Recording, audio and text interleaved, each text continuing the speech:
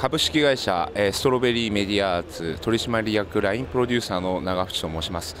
えー、弊社のブースで、えー、ご紹介させていただきますのは、まあ、こちらにあります、えー、車載型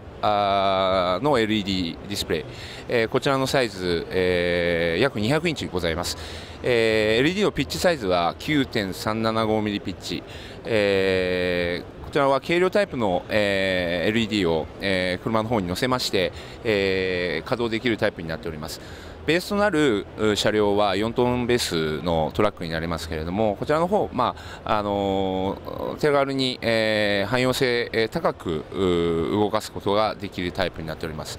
えー、スポーツイベント、えー、および、えー、防災訓練等のイベント、えー、そういったところで、えー、今、ニーズがかなり高くなっておりますけれども、こちらの販売およびレンタルの方をやらさせていただいております。